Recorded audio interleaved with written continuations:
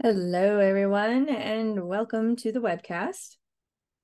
My name is Christine Dorsey Davis. I'm the Executive Director of the Ohio chapter of the American Planning Association, and I am your webcast moderator. Today is October 27th, and we will hear Empowering the Next Generation Young Professionals Taking Action Against Food Insecurity. For content questions related to the presentation, just type those in the Q&A box down at the bottom in your bar, and we will answer those at the end of the presentation during the Q&A. Uh, I will ask that if your question is for a particular panelist, you state that in your question. That just helps. And if you have any technical issues, again, type them in the Q&A box, and I will do my best to answer those as we go along. Next on your screen is a list of our sponsoring APA chapters and divisions for 2023. Thanks to all those participating sponsors for making these webcasts possible and uh, free to members. And today we are sponsored by um, the Food Systems Division. Is it Food Systems Division? I want to make sure I'm saying it right. Excellent. And you'll hear a little bit more about them in just a moment. But we want to thank you for joining us today and for joining our series this year. Coming up on your screen now is a list of our two remaining sessions for 2023. Um, actually, we do have more in December. We have two more in December. Uh, to note, we have a law session coming up. It's a, it's good for CM law credits. It's on Friday, November 3rd. Um, and we will have registration up hopefully by the end of today or early Monday morning. Uh, so check our website, ohioplanning.org slash planning webcast to get more information on that. Uh, today's session is worth 1.5 CM credits. To log those credits, head over to planning.org, log into your My APA account, and from there you can either search by today's title or event number, both of which can be found on our website, ohioplanning.org slash planning webcast. If you're on social media, be sure to like us on Facebook. That's where we post any important date or time changes. I also post when new sessions are available for you to register for. So be sure to uh, like us so that you get updated. And subscribe to our YouTube channel. We record all of our sessions and we post them onto our YouTube channel. So head over there and just type in planning webcast and our channel will pop up along with our well over 450 recordings all available for free. So if you subscribe, you'll get notified when new sessions recordings are up and available. So again, if you have any questions for our panelists, type them in your Q&A box. Be sure to reference who you would like to answer that question. Um, and with that, I am now going to turn it over to Ariel to kick things off. All right, hello, I'm going to share my screen.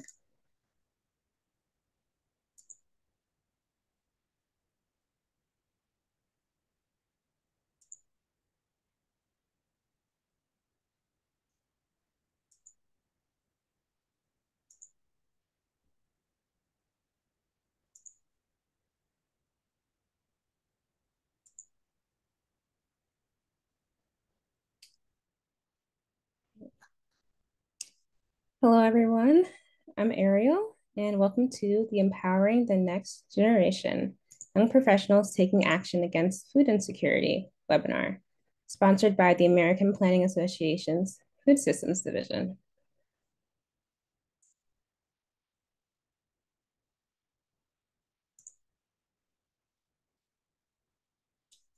This division was created to help planners build stronger, more just, equitable, and self-reliant local and regional food systems. Our efforts strive to help integrate food systems planning into other areas of planning. Planners play an important role in the development of healthy, sustainable, local and regional food systems to support and enhance the overall public, social, and economic health of communities.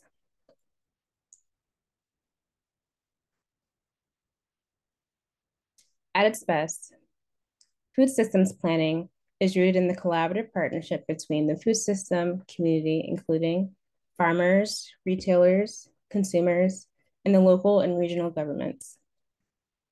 It's important for planners to think about and identify the various food production opportunities and food security challenges in their community to develop public policy tools that better connect underserved residents with those who produce food.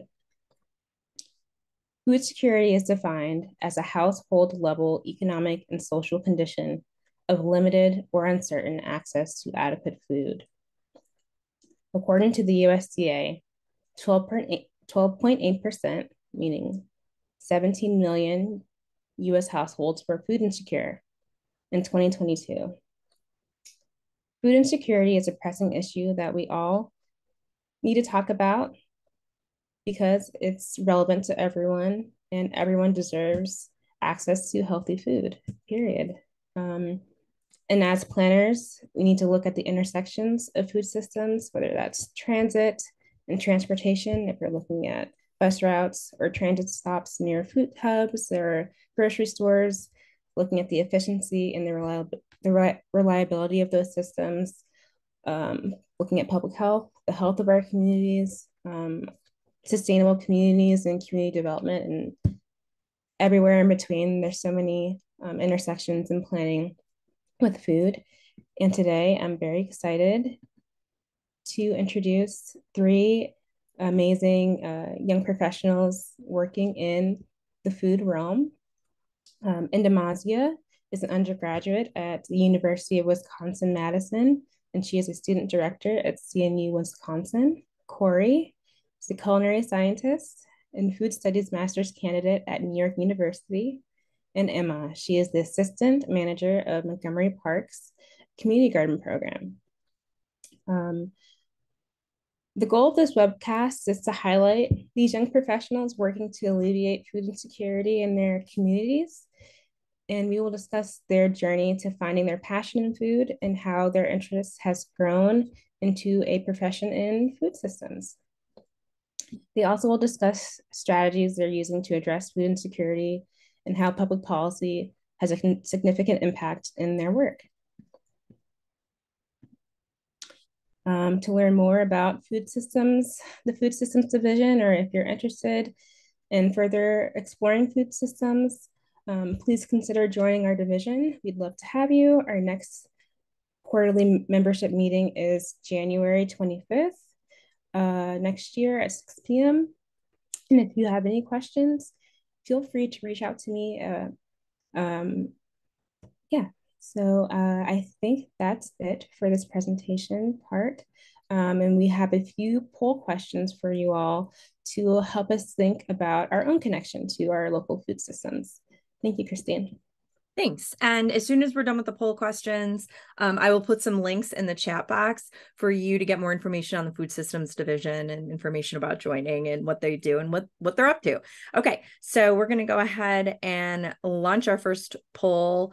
Uh, we have three questions for you. So uh, the first one is now live. Um, and to my panelists, you don't get to vote. So if you're wondering, why can't I vote? You're not allowed. I don't know why. The Zoom people decided. I totally. If you are on a right, did you? I know it's funny. Um, if you're on a mobile device and you don't see it, the pop up. Um, I'm sorry. Some some mobile devices have weird settings that don't allow pop ups. Um, we'll give it another moment here.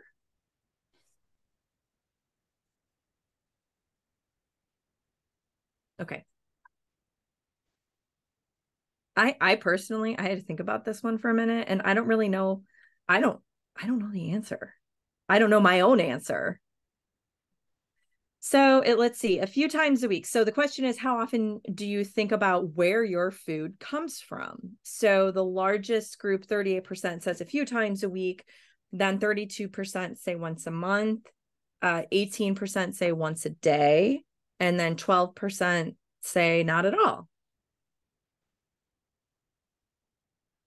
All right, I am going to go ahead and launch the next question. How far is the closest grocery store to where you live?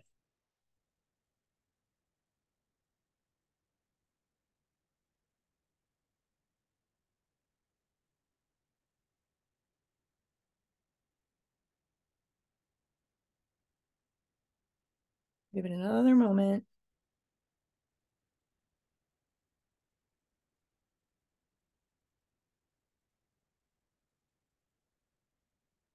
Um, okay, I'm going to go ahead and end it and share the results. So 54% say less than five minutes, 37% say five to 10, 9%, 10 to 25, 0%, 25 or more. So aren't we all in a good position, the majority of us?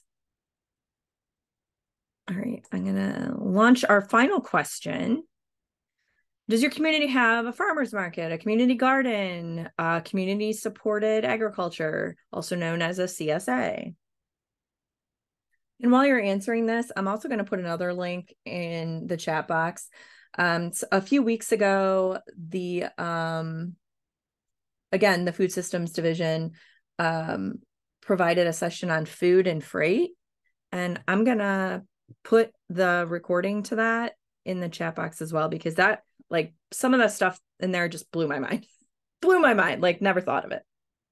So I'm going to put a link to that session recording in the chat box as well. Okay. All right, I'm going to go ahead and end it. Share the results. This is great to see. 90% say yes, we do. 6% say no, 4% say I don't know. Um, I mean, that's wonderful to see. And I think also part of it is we tend to lean towards knowing those kinds of things just as planners. Um, but that's great. All right. Polls are ended. Um, and you guys can feel free to get started. I'm going to close off um, my video, but I am here in the background. And folks, again, you have questions, type them in the Q&A box. We'll get to them at the end. All right. Thank you, Christine.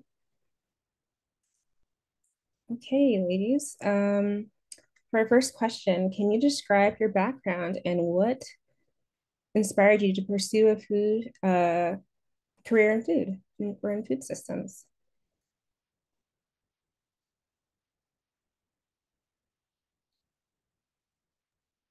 guess I can get us started.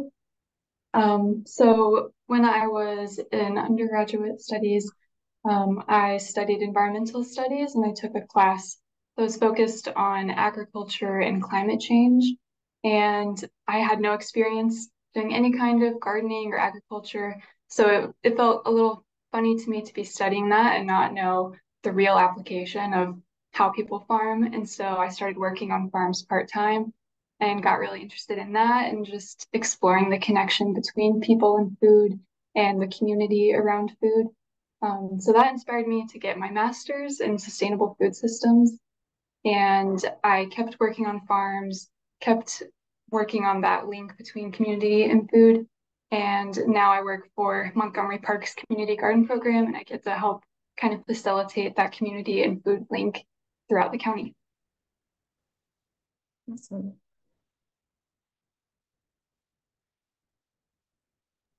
Yeah. So for me, um, I grew up in in Maryland, like near between Baltimore, Annapolis, and Anne County, and I've always loved food and kind of been obsessed with it. It's always been a really intimate um topic for me, like with just the role it's played in my family and everything. And so I always knew I wanted to. Uh, I don't know. As a kid, it was be a chef, you know. So then I went to the CIA and realized like that wasn't the only way that I could engage with food. Um, uh, just I there's a bunch of amazing classes and amazing people I met there that helped open it up for me. But I think ecology of food that I took a class um called ecology of food with Dr. Deirdre Murphy, and we engaged with how food was connected to the earth and people and that rocked my whole world. It was absolutely beautiful. And I think the more that I learn about food and culture and food systems and can like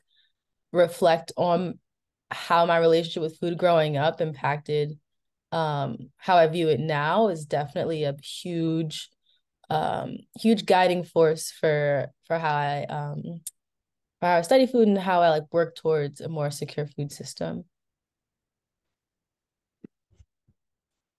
Thank you.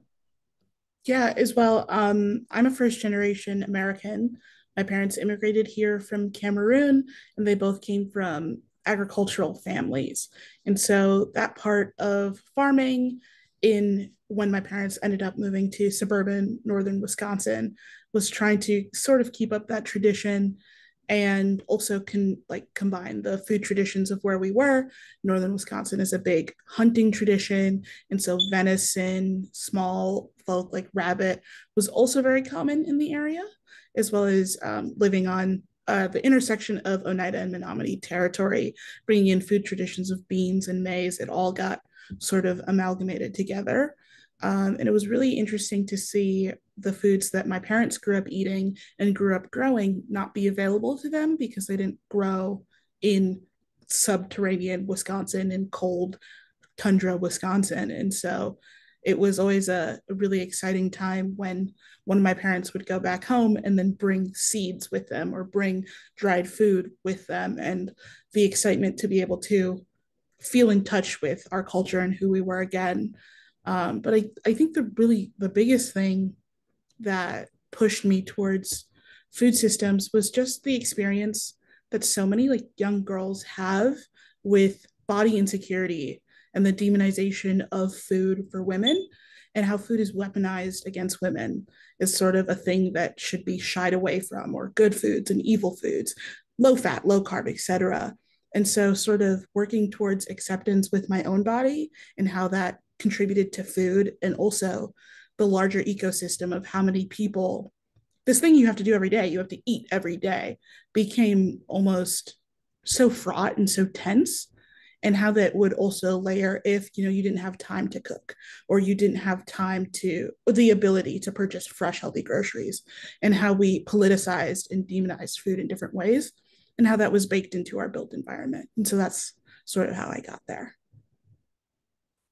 Wow, all of you are just amazing. um, so our next question is, what is your food, food philosophy? And you can kind of take that how you want to. Um, and the second part of that is, why is it important to think about where your food comes from? Yeah, I'll start off on this one. I think a big part of my food philosophy which is a funny question, but is like connections and making connections and building them and maintaining them because when we think about food systems, you know, it's a system, it's a web, it's it's all connected, um, which is why it's kind of the core of the philosophy. And whenever we trace back, like whenever we are, I'm sorry, what was the second part of the question? Why is it important to think about where your food comes from? Okay, no, yes, exactly. That's where I was heading with that. Like, because I think it's important because whenever whenever there's a problem or an issue and you have to trace it back, it's gonna come down to what kind of relationship you have with with whether it's even like the grocery store because it's not always farmers like I, i'm thinking because i'm in new york city right now and i grew up in like suburban maryland and so the farmer conversation wasn't um it wasn't a conversation i was having until more recently um and it's really important and i'm sure they'll talk more about it too but like sometimes as simple as like talking to the person who orders the food at the grocery store and saying like I want this product because I know that you know this brand is is you know doing something a little bit better for the world or or even going down to the community garden and being able to make that connection with your neighborhood to say like well this food is culturally relevant to me. Like I want to plant these seeds here. And having that sense of like sovereignty in the community is is another big connection. And so like conversations um, to lead to like the increase in the security is a big part of my own uh, food philosophy. Yeah, I think jumping off of that, the idea of food gets really romanticized because it should be.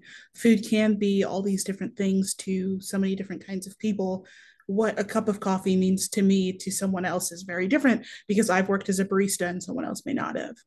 But I think it's important to think about where our food comes from because our romantic idea of food can sort of crumble when we realize some of the conditions that these foods were grown in, were produced in, were processed in. And like I think about the phrase like a seat at the table a lot and what is on the table that's being served. And like, does it matter that everyone has a seat at the table if, you know, the, the conditions of which what's being served were not done fairly? Um, and so in in sort of trying to continue this like almost spiritual connection to food that I think everyone ought to have, knowing where the food comes from is the first step.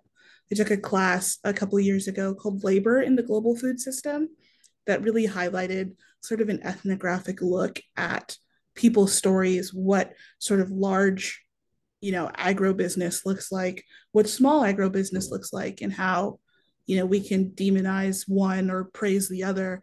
But throughout all of these, we don't have a holistic framework for what it means to get our food well. We just trust that people with good morals do it and you know a lot of people with good morals are doing a lot of very good stuff in the food system and it's really exciting especially as we move forward towards more organics more more csas i have the privilege of living in madison wisconsin which has one of the largest if not the largest csa programs in the country and one of the largest open air farmers markets in the country and so it's really exciting to be in a place of bounty but understand that it's geographically limited and if I were to go somewhere else, or if just people were to go somewhere else, or if it doesn't rain enough next year, all of that could come to folly.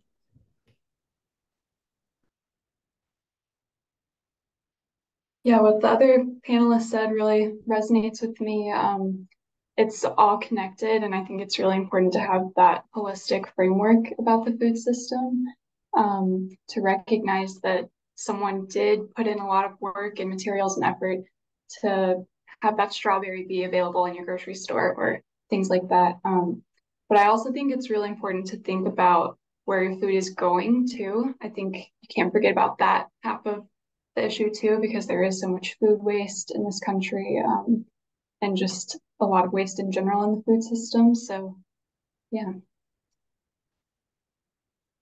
Well, thank you. Um, so, what is your area of specialization and what does that look like in terms of the work that you do and its impact on your community?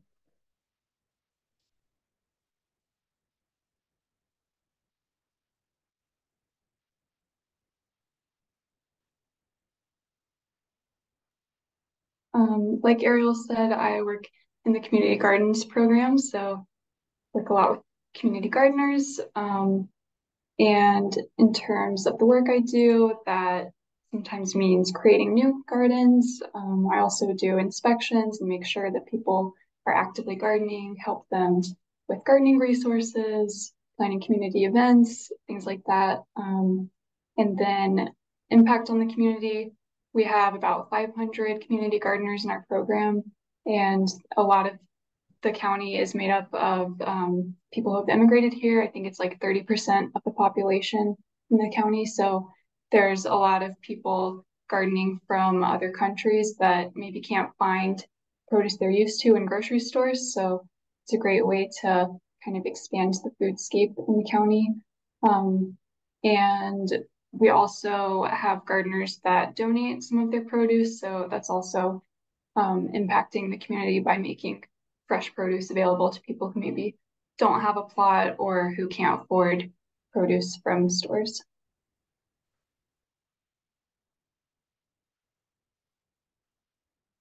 That's really cool. Um, I would say my specialization just back on like the philosophy with connections. Um, I just kind of made up a word active academia because I've been in school for quite a bit now.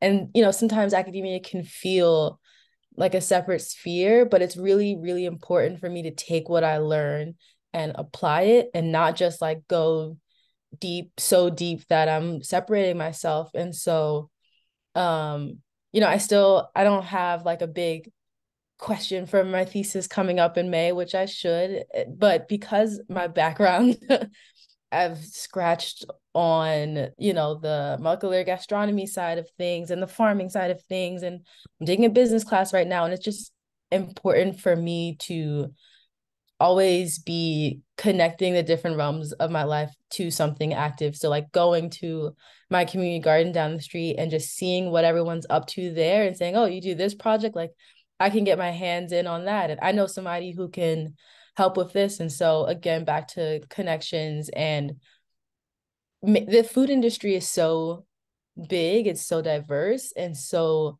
but at the same time you know, it's a small world after all. So I would guess, yeah, my specialization being active academia and feeling rooted and grounded in different segments of the food industry.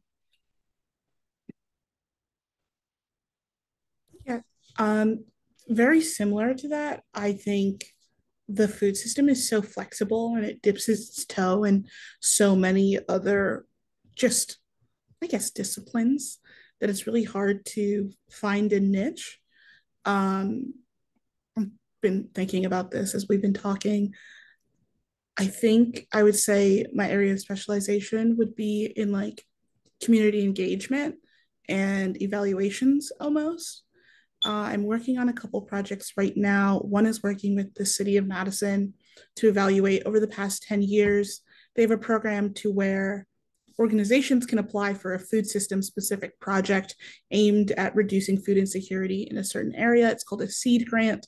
And we're doing evaluations on the past 10 years of grants, um, in which over $275,000 have been given to different organizations, anywhere from $500 to $10,000.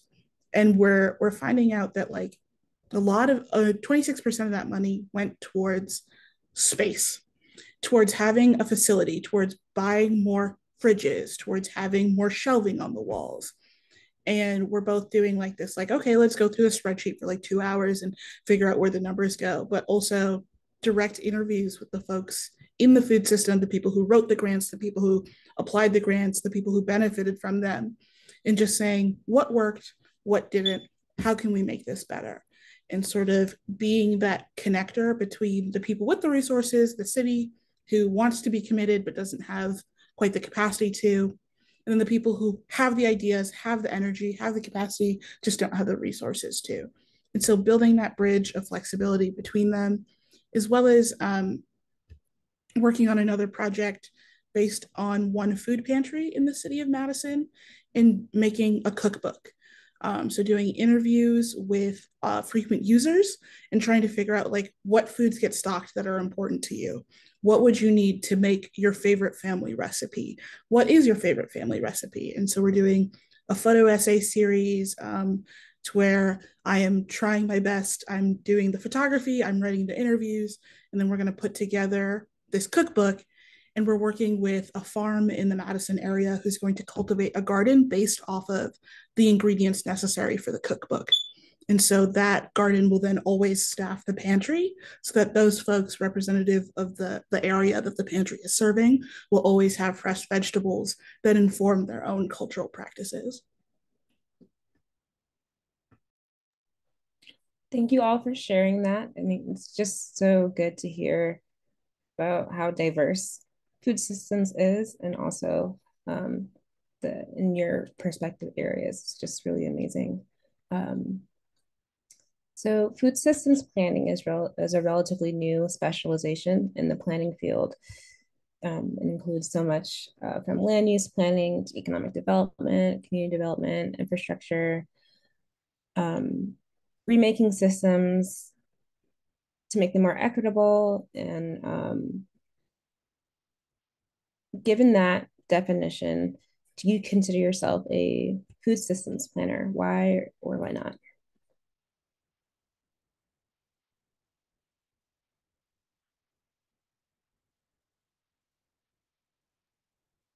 I think before this question, I would have said no, but um, there is a lot of overlap between my work and planning, I think. Um, I saw in the chat someone was wondering where Montgomery County is. I'm talking about Montgomery County, Maryland.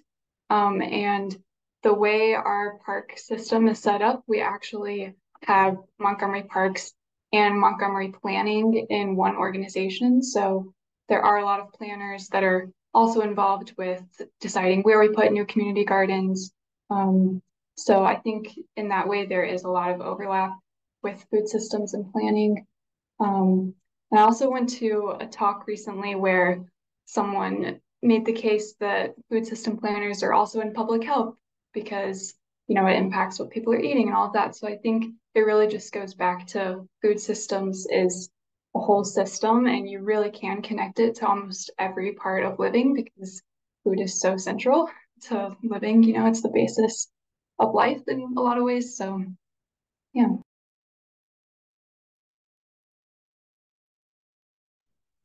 I think I hope to be a food systems planner.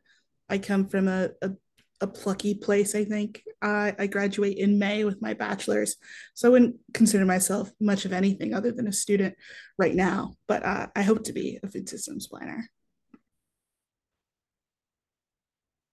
Yeah, I before given that definition probably wouldn't have called and called myself a food systems planner and, and i don't know if i actually can but putting in the work to make a more equitable food systems through community development is something that i do feel like i'm doing like just sh- working with neighbors to grow food is is a really important job like that in itself is creating a more secure food system in the community and like how we utilize space and having a say in how we utilize space is really important. Like it was so crazy about maybe 2 months ago at our community garden there was this huge intense meeting happening because right next door like there's this empty plot. There's uh, i'm in brooklyn i'm in flatbush brooklyn and there's a lot of redevelopment happening around. And so there's this empty plot and the people who plan to build the building right there they actually came to the garden and they were asking our opinions and like asking about like the height of it because like the sun was growing and they they included us. And that was really cool. That was amazing. I felt i felt i felt like a, a food systems planner there for a bit um and you know they're, they're gonna they're gonna make their own decisions and do what they do and rent out the space but the fact that they had the consideration to say well maybe we can do a rooftop garden on the building or you know what what how can we engage was was really cool that they um considered our opinions and so maybe i'm on my way that's awesome um going off of your point corey um can you all give examples of success stories or positive impacts you've witnessed as a result of your work in food security? Uh, just to, I guess, keep going on that. I, you know, it's interesting. Like we when we talk about food security, I'm in this food and culture class right now, and like something that can be frustrating to me in academia is we talk about it like it's an over there problem, like it's a them problem. But I grew up food insecure, and like as a student right now, I, I still am. Like I really struggle. Like I depend on that garden. Like me and my roommate, we grew kale and collards there just to actually eat. And so I think the success story for me is being able to feed myself, which is and like it's interesting because I've never like grew my own food before. Like I've that's not that has like Walmart was where we went, you know? So just this cultivating a more intimate relationship with the food, not just in a theoretical way, but we have a little greenhouse right there where we can like grow herbs and like that's so magical to me. It like actually makes me emotional just to have the knowledge that the skill set to do trial and error with seeds and nourish ourselves with it is it feels success feels like success to me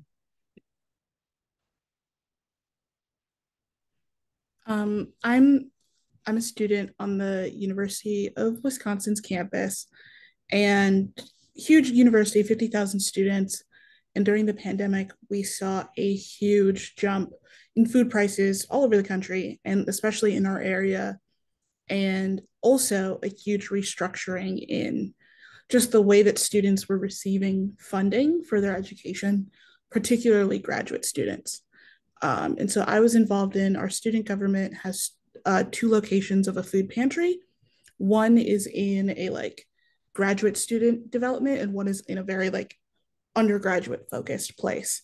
And something that we were seeing pretty heavily were a lot of graduate students and particularly international graduate students who were not just coming you know like i may have to college at 18 by myself ready to be independent and forge my own way we're coming with children we're coming with their parents grandparents multi-generational households in these like graduate student design departments who because of the pandemic, research was halted for a really long time. So, like, their projects and their tenure in graduate school were being extended without any like adjustments to the grants they received for their research or funding in any single way. So, it was just pandemic was a really hard time for our graduate students on campus. And so, we were able to bolster our like service to graduate students and really sort of um, push through language barriers as well, because a lot of folks we were dealing with primarily spoke either Mandarin or Cantonese um, and or Tagalog. And so being able to like form a connection specifically between undergraduates and graduate students who do not talk unless one is grading the other's paper, like that was really, really fortunate. But then to once we got our bearings a little bit, turn around and say, this isn't okay. This isn't you know, graduate students need to be able to feed themselves. Uh, you shouldn't just have to starve for three years on the way to a promotion or a raise 10 years down the line. And so, working and advocating with our graduate student union, advocating directly to the presidents and the chancellors of our university to fight for, and it's an ongoing fight for a larger graduate student stipend. But every, we got a raise for graduate students coming into this year. And so that was a biggest impact and almost born from the food system, but not just of the food system.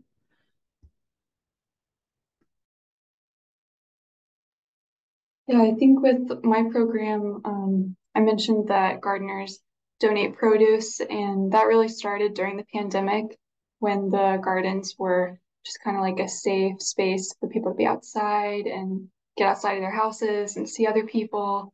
Um, and as of now, they've donated over 15,000 pounds since 2020. So I think that's been really great um, for the food banks and also for the gardeners to feel like they're engaging with the community in that way. Um, and we've also tried to encourage people to grow a lot of variety of crops. So things that maybe wouldn't typically be donated to food pantries like garlic or bitter melon or things like that that maybe people aren't used to seeing in food pantries.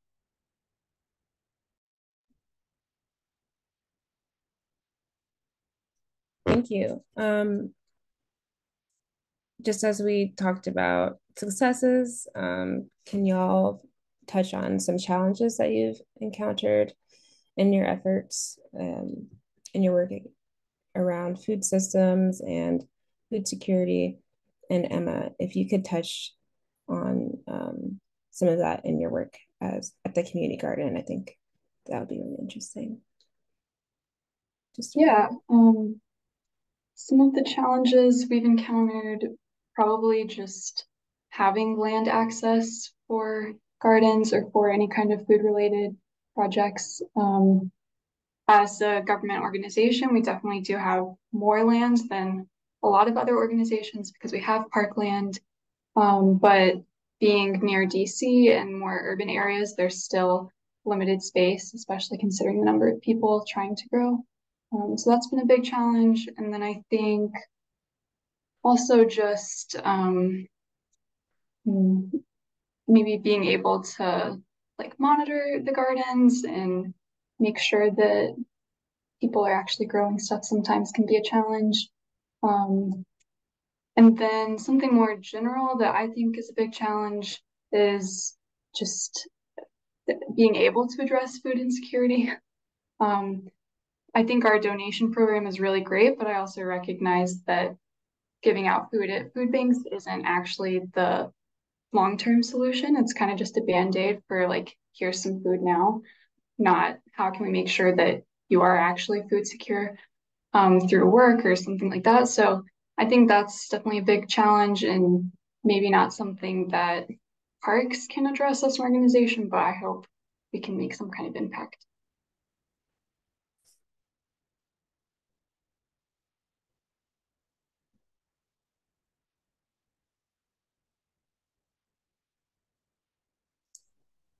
Um, I think there are a couple significant challenges I've seen.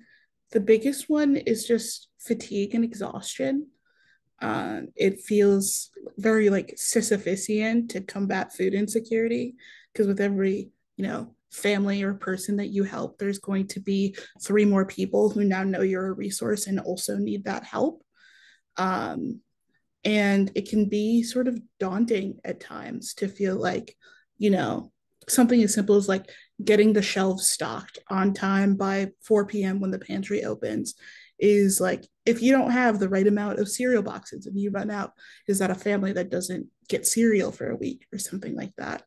Um, and I think that that really harkens to what Emma was saying with like emergency food aid, food banks, food pantries, community meals, donations. All this has become a larger norm than usual. And it's turning a lot of folks who like maybe are just like occasional gardeners or volunteers into almost like the bolstering social safety net that we are not getting through other means which you know without sort of like the infrastructure of support becomes really daunting um, specifically through like nonprofit organizations because they're so siloed. And you can have like we do in madison 30 organizations doing the same work with overlapping reaches that aren't talking to each other and as such are doing repeat work and getting burnt out and exhausted. And so but even within that like i think community work gets praised a lot as it should without the like reality of, of community work being inherently conflictual like there will always be people doing great work that you just do not like. And that becomes like some people are annoying and that's just the truth. And they'll be doing amazing things but you just won't want to work with them. And like how we don't learn to navigate conflict with people who are going towards our same goals and that becomes really really tricky. And so you almost start doing repeat work out of spite because you just don't want to work with that guy. And so like having the ability to like within advocacy like foster connections and or like just learn like what a working relationship looks like, or even how to pass the baton. Because if me and the guy I don't like are doing the same thing, is it okay for me to admit that maybe he can do it, I can drop it, and I can go work on a different aspect? And sort of like these these personal ideas of humility and time and focus, I think become big things. And those are more philosophical things than like, oh, the trucks don't come on time. But those are the significant challenges I've seen.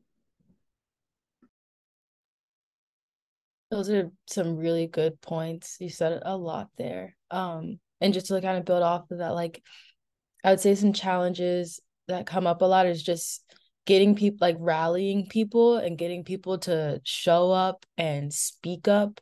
Um, with so many changes happening all the time, it can be really overwhelming for general community members to feel like even that they have a a say or that like you know their voice matters. And so really energizing folks to to take action even small actions um can can be really challenging. And then like the people who do decide to you know take the action and show up in spaces like that consistency and like letting people know that it's okay if it's just a little bit of time a week or a month just whenever but but just continuing to instill that energy um and to maintain that energy in ourselves as well to keep giving back to put into other people.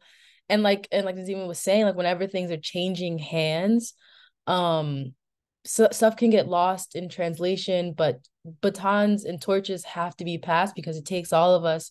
And so you know just starting up and initiating and having conversations that catalyst energy just to begin just to literally just showing up and telling people how okay it is to to not know or feel like you know you have to be in some certain role or have to perform a certain thing just being in a space is so revolutionary at times um and making people feel safe and welcome in those spaces not int- not overly intimidated like that we all are supposed to be here um and reassuring that because like it's just so easy to be intimidated by i don't know like a, an expert gardener or somebody in academia or something. It's just like we're all you know we're all just joe regular schmo and and it that's okay because it's important oh. um thank you all um that kind of goes into my next question i wanted to start with Indamasia for this one um can you describe some key strategies and approach approaches you're using in your work right now, um, and with your work at uh, the food pantry on campus? What are some strategies that have evolved over time? What's working? What hasn't worked? Um, and how are you seeing that impact um, students? Yeah, um, I think the biggest thing is just using a diversity of tactics and like um acknowledging that like certain models will work but they won't evolve within like in and of themselves like the like the food pantry model isn't really meant to evolve it's meant to like you have shelves people come in they take their food they go this is not like i uh, a, a phrase I heard one time in organizing work was like, you want to do your job so well, you don't have a job anymore, which is like to be constantly working on improving the conditions surrounding you doing social work to where that no longer needs to exist. And so, like, it's been interesting in seeing folks think about a food pantry and their role in it, going from like, okay, I volunteer once a week, I come in, I help people get their bags and groceries, I stock the shelves, whatever, to also being like, what is my role in ensuring that like we don't need to grow, we actually need to shrink. Like my biggest idea would be that like food pantries, like our food pantry doesn't need to exist because our students are food secure and that's just the end of it. And so like we don't want to be expanding hours and expanding volunteers because we don't want that need to be there. And so some tactics in sort of this like structural role have been the advocacy with key decision makers like on campus that means like chancellors of student affairs working with financial aid working with even like admissions with housing and dining and talking to the chancellor at large about like what the scope of this issue looks like but also because we're a public institution confronting what it means for public education to get funded at the local and state level. So we're meeting with our state representatives, going to the governor's office, and we even sent a trip to Washington D.C. last March to go meet with our state representatives about like what does expanding SNAP for um, college students look like? What does it mean to like continue to have the pandemic era like public health emergency aid for college students? What does it mean to expand the Pell Grant? So more um, money is going directly into students' pockets and offsetting, you know, the cost of tuition, the cost of living. And then um, in the community food pantry I work with, it's thinking about what other community organizations are we working with? Can we partner and get grants? That's where we got the um, it's called the purpose grown uh, pantry. So that's where we're working with a farm to purposely grow food just for the pantry. And how are we, you know, confronting from, you know, from the individual to the block to the state and federal levels? What are we doing within our tactics while also running a food pantry, which is very difficult to sort of shrink our program as necessary.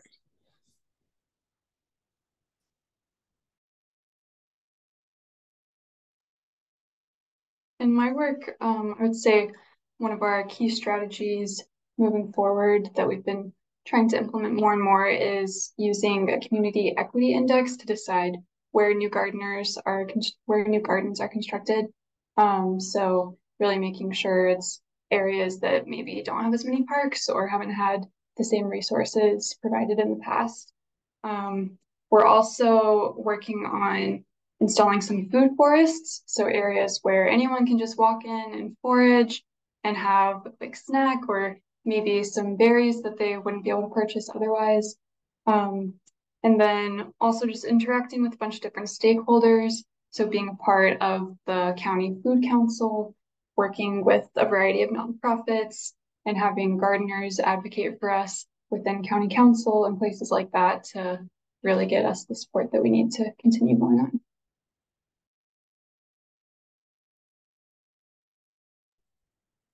Yeah, I would say um, some strategies of mine have definitely evolved over time because I feel like, well, one, I move around a lot and I do want to feel engaged with um, the communities that I'm in. And so, like, at first, that might have just been like showing up and sharing everything about me and all these ideas that I have to make things great. But man being being in brooklyn being in flatbush has really changed a lot to for me and just like stepping back and observing. It can be really harmful to just kind of think that the solutions that i have are the best ones and so um showing up like i said before but then listening and observing so to watch patterns that happen with the community to see these need gaps to see how people engage with one another and just kind of really being a student of life at all times so that so that I can see where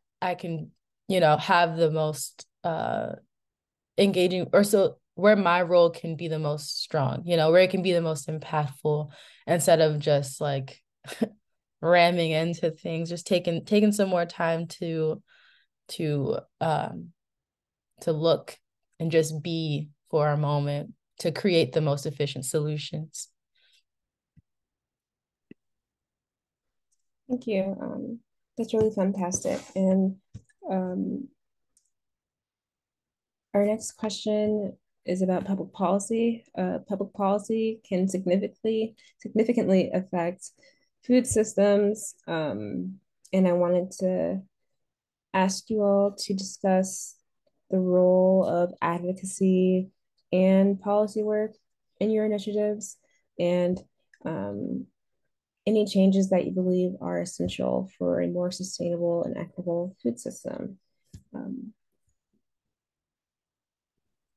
yeah, I just like what my fellow panelists were saying before about the role of policy to really support instead of this over reliance on the private sphere which is just it like it should not be growing that much. Um and and staying staying up and staying educated on it which is maybe really obvious in things but there's always changes happening and there's always bills being passed. And so engaging with a multitude of um outlets just to stay the most informed is maybe yeah maybe obvious but is challenging too at the same time. And so being able to know like what you can or what I can do what we can do and what's actually happening so that money's not being taken away from support systems like SNAP and WIC and so that money isn't being excessively funneled into the silos of of um community support is just like and it happens so fast like it's almost scary so um yeah.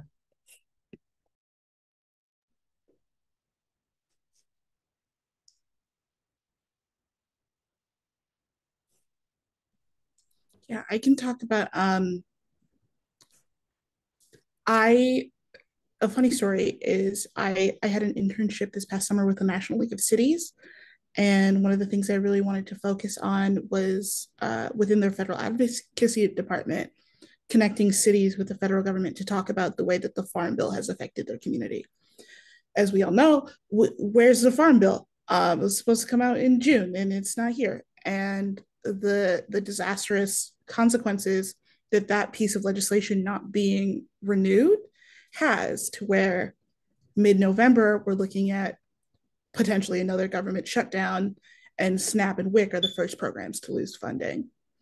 And then uh, Wisconsin's a really unique, lightly unique sort of uh, political ecosystem because of the the requirements, the work requirements that get put on on the state level for SNAP and other public benefits to where like you have to have been looking for a job for an extended period of time the restrictions for how long you can use these benefit systems and uh, the public health emergency going away in april as we know it's not like the disease went away, but the the support for it did. And so now we're seeing people who no longer qualify for SNAP, who no longer qualify for all these different aid programs.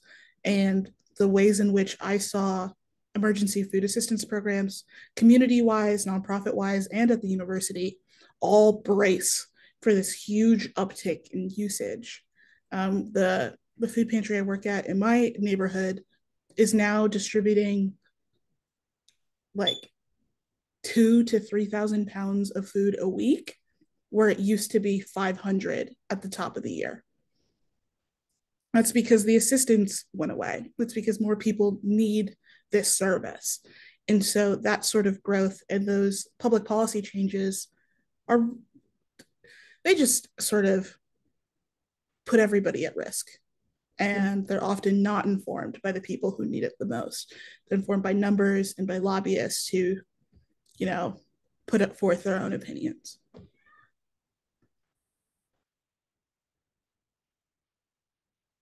Yeah, um, I agree with what Corey said about just staying up to date on public policy and educating yourself. I think for farmers or urban growers, there are a lot of grants and opportunities there that just aren't like passed along enough or like no one is really aware of. Um, so utilizing those, I think, is really important. And I think also just being really involved with your local policies, local government, um, like in Montgomery County, they just released a tax credit for urban farms.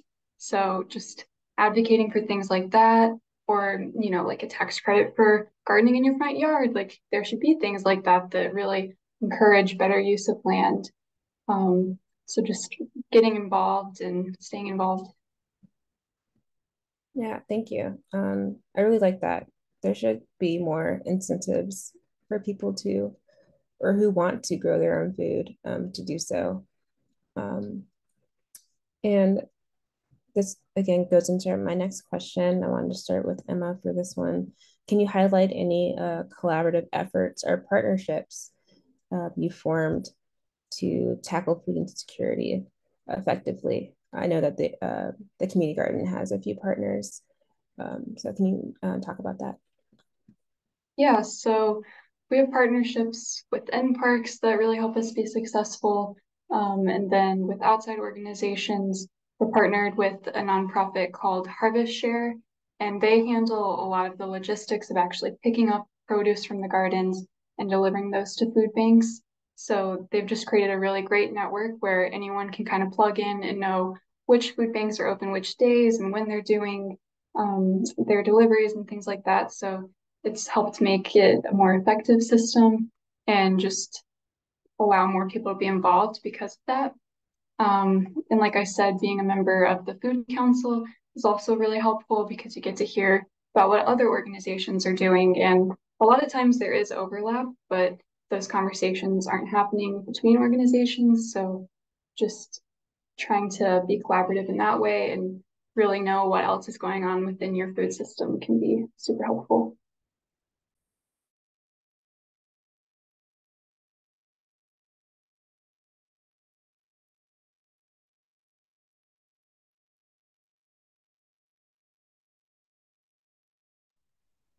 Guess I'll, I'll echo what Emma said. I think the the county food council and then here in Madison we also have a citywide food council and the way that they work with each other is just really inspiring because it's a volunteer council and most of the folks on there just really care about the food system and they often work in different parts either from the planning department from nonprofits from local gardens and so having it almost be like like a think think tank or like a meeting ground for all these people who really care in your area as well as being you know volunteer experts who want to come in. We get to make policy on food. We get to be the ones who you know decide areas of food insecurity.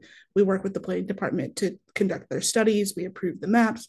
And we we put in i think over $200000 worth of funding to the city without oversight from the city council, which is crazy every year. Um, and so we get to really make an impact through that. And it's a really successful collaboration. so I, if anything else, I encourage everybody to join their local food council. You'll meet a lot of people who also care. You'll see a lot of different kinds of expertise and advocate for a youth seat on your food policy council. Um, Madison has a youth seat for anyone in the area age 18 to 24, oh, 16 to 24, excuse me, to participate. And they have youth seats on a lot of their different councils. I currently sit in the youth seat and it from other uh, members of the committee, I've always been told that the youth perspective, often from a high school or college student, really makes an impact for seeing the food system in a different way.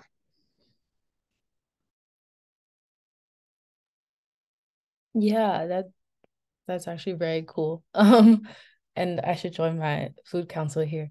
Um, but when I think about some collaborative efforts, again, I think about the the buildings that are constantly being kind of tore down and restructured and how collaborating with them like there's there's um a church in this community who's like okay well we're going to be on the first floor level and bring in kids to work on the rooftop garden who can also work at the garden next door. And so like just bringing in a bunch of different um bodies to to engage with with different aspects. So not just the food but like infrastructure as well. And then this hasn't actually happened, but I just had this idea of like because cultural relevance is so important everywhere, but like in Flatbush is just a large Caribbean population, and so like the garden grows like callaloo, which is um a, a green, and so like having something like that to be sold in the cafes, like there's a cafe called Lips, and they do specifically like Caribbean foods like plantains and saltfish and things, and those types of collaborations um they they really matter to to sustaining um important elements of of food insecurity that's not just um the basics but cultural relevance as well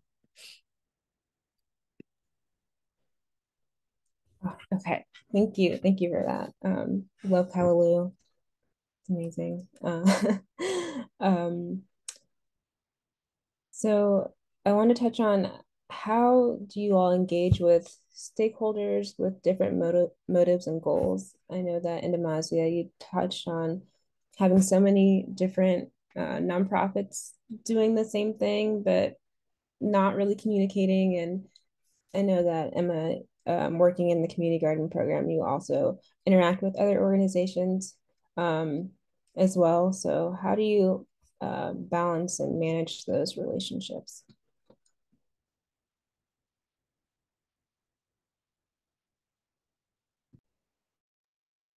say that some of our most challenging stakeholders are actually within parks, just because there are a lot of different ways that park lane can be used. You can have dog parks or tennis courts or, you know, this and that. Um, so really just educating people about the benefits of community gardens um, and getting community support is always a good way to just share how impactful they can be as spaces.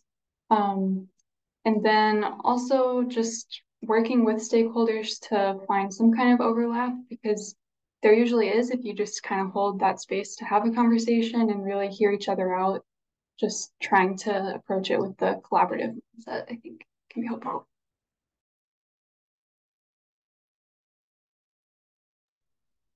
Uh, a, a metaphor I like to use a lot is like, you know, there's the wooden ruler and then there's the flexible ruler and they both measure 12 inches and they both have like the same sort of goal um, you want to be like a flexible ruler because you're able to do so much more but also like you have your stated goal in mind but it doesn't mean that that can't change. It doesn't mean that being flexible is going to make you get there or get to your end game any less differently than like a rigid ruler would and so, like, I think when you're dealing with people with different motivations and different goals, you, you should have your own in mind.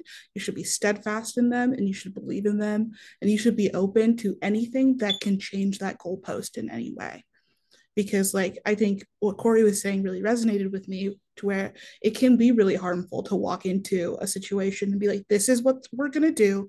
I know the right way to do it. I'm informed by this study or this paper, and I have this degree, whatever because I mean, at the end of the day, it could just not be that community's goal.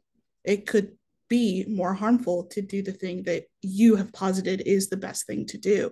And so, as long as you have a goal, be flexible about it, be open to it, be open to also, if you want to go 12 inches and someone wants to go six, you don't have to disagree because you both want to go six. You know, so work with people to get to their motive and then keep going. Use their capacity to bolster your own. Um, that's that's a lesson I've learned. Yeah. that, That's so well said. Literally, yes, exactly. Like just honing in on the core of something because you know there's always a bottom line and like making sure that that's clear and well stated and understood and and by understood i don't just mean like oh you get like you see it but understood like as in felt and engaging with that feeling of the core goal to then branch from there. Because there's no need to create excessive limits and i think you know stakeholders can can be so many different people. Obviously you know it could be people who have very different ideas of what the end might look like. And so kind of doing some if not erasure just stepping back so that expectations and managing expectations oh my god managing expectations is like really important so that no one is leaving like eh, super disappointed or having the wrong idea but this understanding of what's working towards. And you know like emma was saying that there's benefits for everyone and there can be a varying amount of what those benefits look like but just knowing that like we're all going to grow whenever we engage together and so that's motivating in itself um for everybody yeah, it's not a one size fits all solution. Every community has their own needs and their own goals, and um, learning how to manage the stakeholder relationship, manage relationships between um, different organizations that you're working with um, is part of the process, and it is really important. Um, so I'm glad you all are um, a part of that positive change we're getting to our, our closing questions here. Um, so given the current statistics of the from the USDA, about uh, 10%, 10.2% of US households were food insecure in 2022. What do you think is the biggest challenge in achieving universal food security and how can this be addressed? Do you think it's a structural thing? Do you think it's a economic thing, um, policy, or a mix of all the above? I, I don't want to like belittle the issue because of how big and important it is. But, you know, yes, policy and greed and, and, and people really just choosing to stop funding war and to fund peace and to fund food security like it's it's such a frustrating thing because you know it's laid out in a in an agenda and they get to that part and they're just like nope we're not going to put that money there. And that, there's a lot more to it and i hope the other panelists will maybe speak more to it as well but like there's just choices and us in advocacy we have to like just keep pulling on on not just heartstrings but facts and data and and yeah yeah i think building off of that it's it's a policy thing it's a structural thing it's an economic thing i think overarching from all that it's a culture thing i think it's really disheartening that like a do- dominant doctrine was that like if you can't afford to feed your family, it's because you made a mistake. Or if you can't X, it's because of you. Like you just try harder, you just work harder, just work more. And like every pantry, every program is going to have the story of the person who works three jobs and still can't manage it, the person who is on 80 hour weeks and still can't manage it. And because of this like demonization, food insecurity is so hidden because it feels shameful to admit it it feels like you've done something wrong.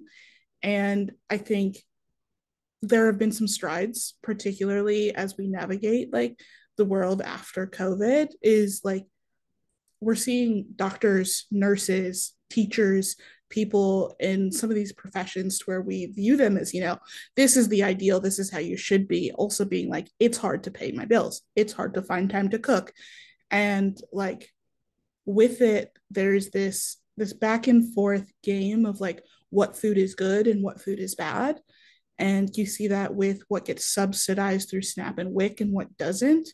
And like, you know, it's there's a currency of time with food. It is so lovely to be able to cook a meal for myself at the end of the day. But that's if I have the energy and the time after work and classes to somehow every time you make dinner it takes two and a half hours for some reason.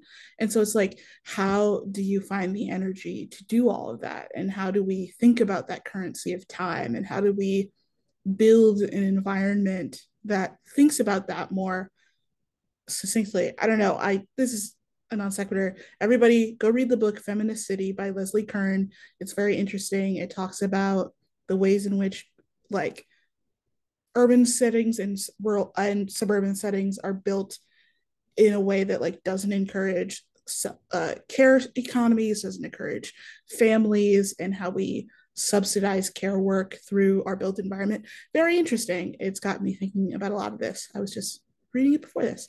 Um, I think I answered the question. Uh, so I'll stop talking.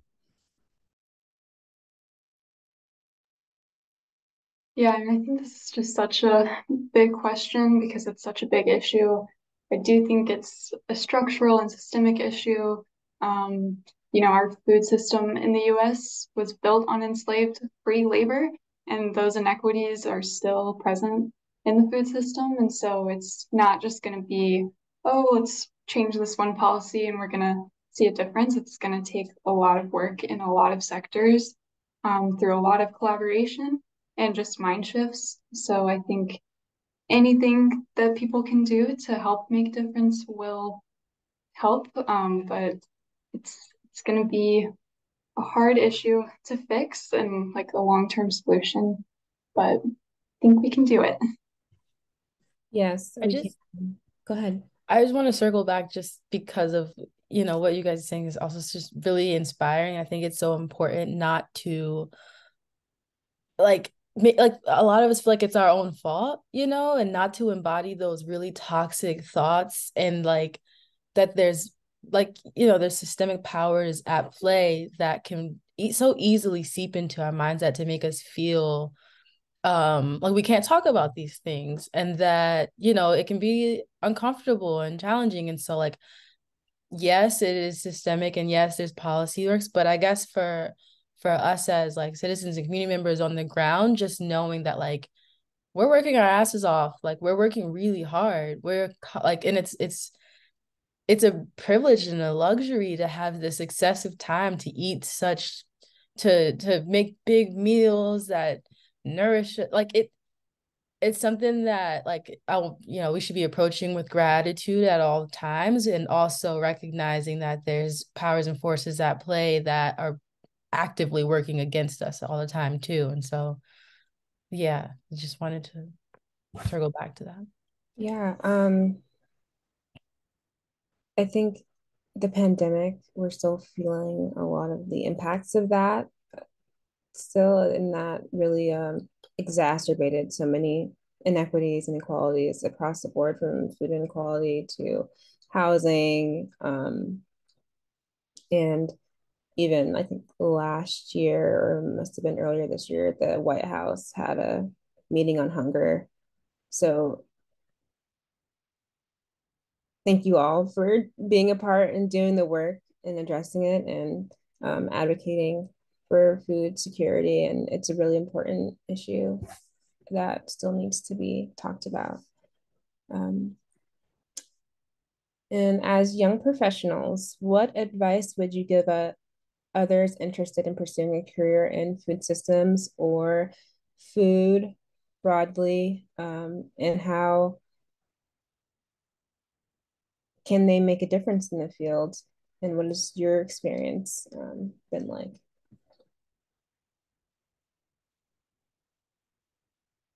I would say, you know, here in New York City, something that's just been so surprising to me is the amount of community gardens everywhere. Like, yes, it is a concrete jungle. And at the same time, there's so many people working to make spaces available and just actually engaging with those spaces. Like, sometimes the gates are closed all the time, but those gates are closed because there's not the volunteers there to keep the gates open so that the hours of, you know, so like it takes us to show up. And so I I just think like just ground level, like I said before, um finding finding the space to and also like I guess figuring out in a clear way like what impact you want to make, like what what impact you want to make that maybe you feel like is affecting you most intimately and then how to just reflect that back you know to switch that back like okay this is something that i struggle with and so finding the reason for that getting specific about it because there's a place like there's a space and really realizing it first of all like acknowledging that there's a place and space finding it and then engaging with it um, which takes time and it takes research and being willing and carving out the time and research because like our whole lives are also happening at the same time. And so you have to choose you have to like actively choose like i put on my calendar you know this time every week i'm gonna go. And i don't always go sometimes but like whenever i can like you have to it's it's a really active choice. And so yeah um i hesitate again because I haven't graduated yet to call myself a professional in any way, shape, or form. Um, but I would say don't reinvent the wheel. Um, if there's something, if you're seeing a need that needs to be addressed, like I, I say this from a, a like a, a nonprofit hub of the Midwest, like there might be someone already doing it or trying and the biggest thing to do is just start talking to people about what resources already exist and how to either like extend them over the problem that you're seeing or how to like it's easier to be a connector than to, you know, start something all over. And so maybe it's just like the city and a nonprofit need to have like one 30 minute conversation and they'll go, oh, I didn't notice this gap and boom, it's fixed. And so like try to like marshal your own connections, your own networks, and just like view the issue through the lens of like the overarching system because that's where you can see some of these connections for more broadly instead of focusing on like the very specific thing in and of itself because solutions will probably be found easier. Um, and then read a lot like read as much as you can but also question everything that you read and question what you see as expertise and question why like when something's written down versus someone says it on a webinar versus someone says it in your neighborhood one is seen as expertise and one isn't. And so just like talk as much as possible and uh, go for a lot of walks. Uh, yeah. Yeah i definitely agree with that. Talk to a lot of people um, try to connect the dots between organizations and yeah, just explore and see what's going on because I promise you someone else is having that idea too. And if we can just join up and work together, then there's a lot of opportunities to make a difference.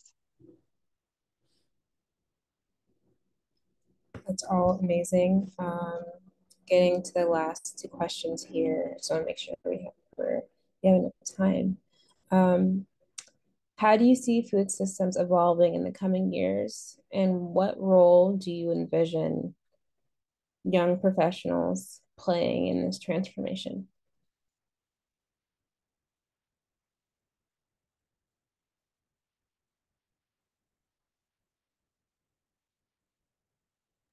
I'm definitely optimistic about it all. Like it it feels like it's going in the right direction and I don't know if it's it's just you know me and my circles or what but just or you know the feedback loop on the social medias but i feel like the food system is evolving to create more connections if nothing else like during you know the peak of covid crisis like noticing supply chain gaps and just the embarrassing disconnect like and then now this push for transparency and efficiency like that in itself is about to go all the way off you know like it's going off at this moment as in going in the right direction. Um and i feel like for young professionals eh, being what's that word? Like um natives of the internet eh, like just the way that we think about connections is so different. It's so like a given, it's so inherent. And even though I do think like it's so much easier for some people to kind of like speak up and take up space in virtual spaces. Whereas maybe for one generation, like it was just a virtual space, I do think like um getting out of the excessive isolation into this IRL is it's happening. Like I, I, feel it happening. Like the mistakes that were made um are kind of being acknowledged and adjusted um on a on a youth level you know like I, I just feel like the youth is so much smarter they just so have so much more access to information it's just like that the, the, even I'm thinking about my nieces and nephews and my nibblings who they're looking at us like you guys haven't figured this out yet. It's so simple. And so like that gives me a lot of hope for sure for those transformations to happen. And so I, I see I see a, a bright connected future for food systems happening fast.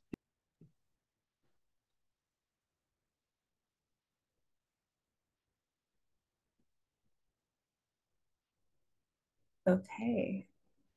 Emma, I'm sorry. Did you already speak? I just want to make sure I didn't skip you. Oh, um, I guess I would say I see the food system just evolving to be a more diverse, creative, and innovative space. I feel like there's been a lot of increased interest in the food system recently and just new ideas and energy in the space, which is really cool to see happening. Um, like when I graduated from my master's program and would tell people that I studied sustainable food systems, a lot of people were like, "Oh, what is that? Like, I didn't know that was a thing. Are you going to be able to find a job?"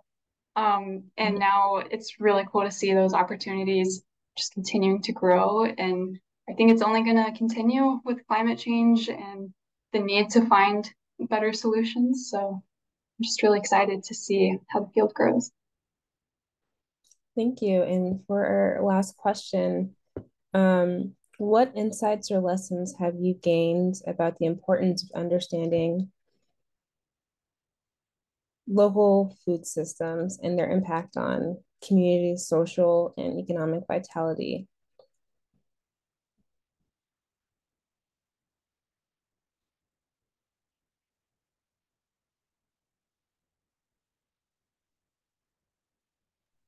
Um, uh, again, being based in Wisconsin, it's cold and dark and snowy five, six months out of the year. And there's a joke that there's not much else to do in the winter but eat and drink. And so food is like a very important part of the Midwest. And we we love to go out to eat. We love restaurants. We love cooking for each other. We love big meals. And like it's it's inseparable from not just social vitality, economic vitality, just the general sense of like living. Um, and I think it's very much informed by the fact that I like grew up here and I still live here. Is that like the food system? And I know we haven't touched on it a lot, but thinking about restaurants and bars and kitchens in general, mm-hmm. and that part of the food system, and like the grocery store, my mom would always joke was like she would go to home work, school, and the grocery store when there is uh, um, snow on the ground. Those were the only four places she would go during those four months. And so, you know, it's food is important. Food is, uh, you will die if you don't have it, and you will die if you don't use it to connect between the people you know, the people you love, the people you are yet to meet. So, yeah.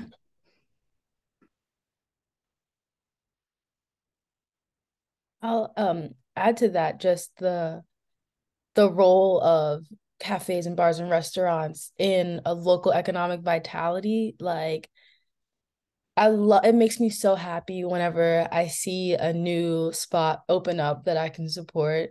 Like just a new coffee shop that I can go to instead of the Dunkin like because it just makes me upset when I see all of the same things and just things looking the same just everywhere like city blue city cities that are just copied and pasted and it's like that diversity is so important. And so like in order for that diversity to be maintained like giving our dollars and so that economic vitality giving our dollars to the special places and kind of you know taking taking the risk it might not be as consistent as McDonald's because that system is not in place, but that's what makes it special. And I think um this newness of the of the food studies industry um shines more light on why it's so important to engage with like local local cafes and local restaurants and and why it's important to give them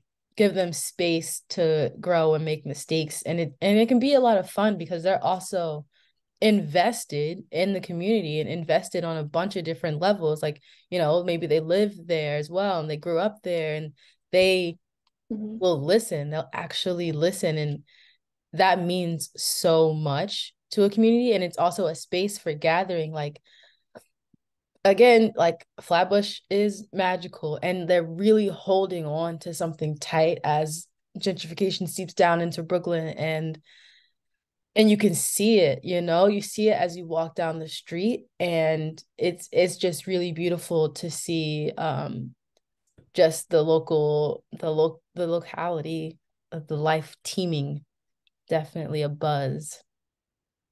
Yeah.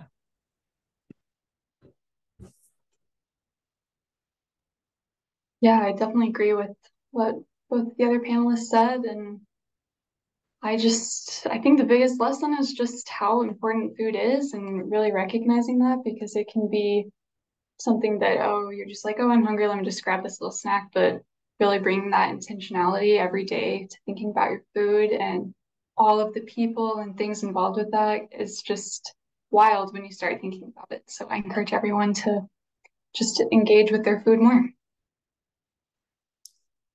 Well, that's all I have, folks. Uh, panelists, thank you so much for um, taking the time to join us today and talk about your passions. And um, I hope the planners and planning adjacent professionals gleaned um, some jewels today and are able to incorporate a food systems perspective in the planning process or any processes in the future.